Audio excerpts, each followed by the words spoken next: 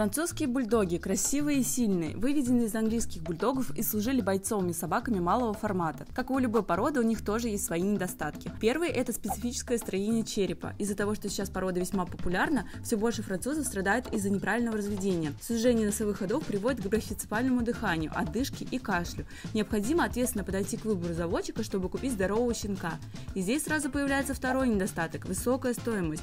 Настоящие ценители породы будут делать генетические тесты на скрытые заболевания заболевания. В таких питомниках цена будет начинаться от 50-60 тысяч за щенка. Также французские бульдоги очень часто долго не могут оставаться в одиночестве. Даже если вы работаете обычную пятидневку, собака будет находиться в стрессе, и это может привести к деструктивному поведению. У французов очень часто может быть аллергия, проблемы с кожей и расстройство желудка. Таким собакам сложно подобрать хорошее питание. Ну и последний недостаток для французов характерно обильное слюноотделение и испускание газа. В целом порода издает много разных звуков, и к этому нужно быть готовым.